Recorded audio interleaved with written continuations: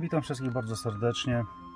Dzisiaj chciałbym e, Wam pokazać zastosowanie płukanki do silnika firmy Liquimoli produkcji niemieckiej. Pierwszy raz zastosowane w tym silniku e, w Renault Espace 5 przy przebiegu 190 tysięcy.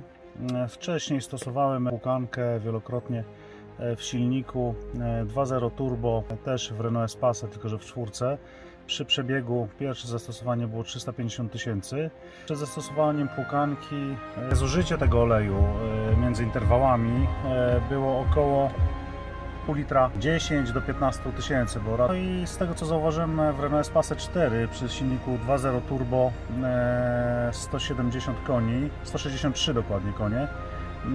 To zużycie to przy zastosowaniu płukanki tego oleju spadło praktycznie do minimum. E, nawet mogę się pokusić o stwierdzenie, że przy wymianach e, co 12 tysięcy kilometrów e, tego oleju bywało może po płukankach 100 do 150 ml, gdzie silnik miał już 350. Później to zużycie malało, silnik miał już ponad 400 tysięcy i praktycznie nawet nie zaglądałem, sprawdzałem tylko na bagnecie, ale praktycznie nie musiałem dolewać w ogóle oleju. Także ogólnie podejrzewam, że pierścienie zgarniające troszeczkę zostały uruchomione warto stosować e, i myślę, że trzeba stosować płukanki. Kiedyś e, był do tego specjalny tak zwany olej wrzecionowy, e, który się zlewało stary olej, zalewało wrzecionowy. Mm, parę minut silnik chodził na oleju wrzecionowym, żeby właśnie wypłukać stary olej, nagar, osady różnego rodzaju z silnika. No a następnie wlewało, zalewało się właściwym olejem.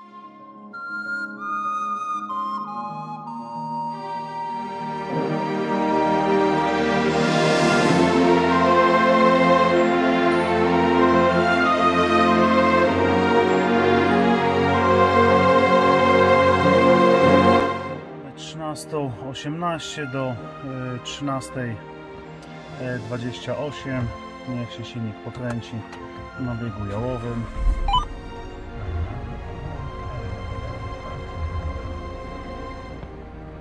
I 10 minut. Czekamy. Jak e, słyszycie nic strasznego, nie słychać żadnych stuków żadnych dziwnych dźwięków.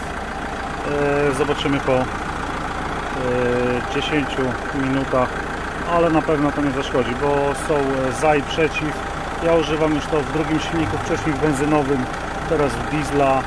W tym czasie jak pracuję w silniku Liquid Moly, czyszcząc e, Wam e, silnik z osadów, tak można wymienić sobie filtr kabinowy, jeżeli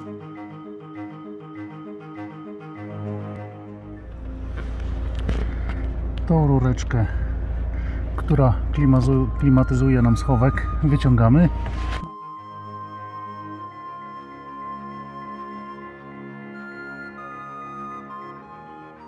Około 10 minut. Ale trzeba go troszeczkę zgiąć, żeby wyszedł. Tak to sobie konstruktorzy wymyślili niestety. I po wymianie dobrze burzają, ale dobrze też jest sobie w środku ogarnąć, żeby później ten syf nie zostawał w samochodzie. Też mamy mój patent na wykorzystanie i dojście do małych zakamarków. Rurka, osłona przewodów elektrycznych bardzo się sprawdza w takich e, sytuacjach, także e, polecam.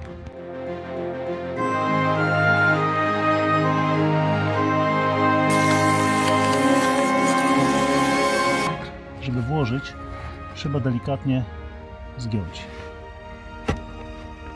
Stykować, ale jak widzicie jest już włożony dekieleczek, żeby zamknąć to całe całość. Zaraz pójdzie nakrętka, zaraz ją wkręcę. Pamiętajcie, nie zapomnijcie o przewodzie od klimatyzacji do schowka. Po zakręceniu trzeba wszystko to włożyć i następnie założyć obudowę. Stawcie sobie zatrzask odpowiednio, żeby obudowa się trzymała i z filtrem kabinowym to jest na tyle. Także tak to wygląda.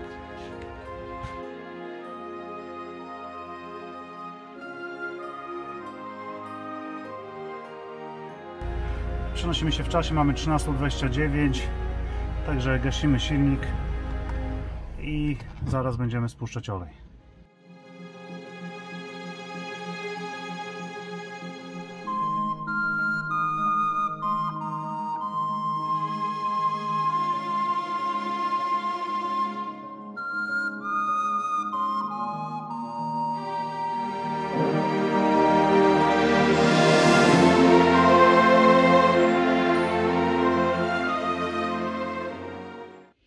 Wkład filtra oleju dostajemy znowu uszczelką na y, kopułkę filtra.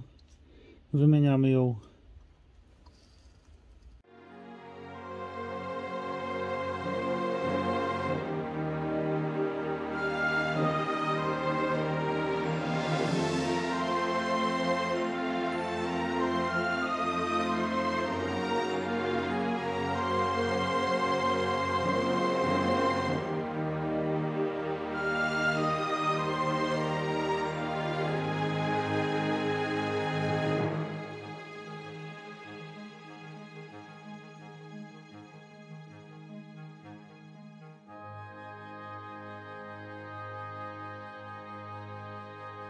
Po wymianie oleju, po zalaniu silnika olejem uruchamiamy i sprawdzamy, czy kontrolka ciśnienia oleju po uruchomieniu zgaśnie.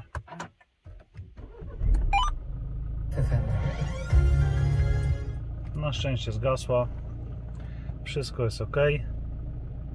Także możemy jeździć. Teraz najważniejsze też, żebyście pamiętali o skasowaniu sobie inspekcji czy tam e, serwisu, ale to można podejrzeć sobie w internecie na kanale YouTube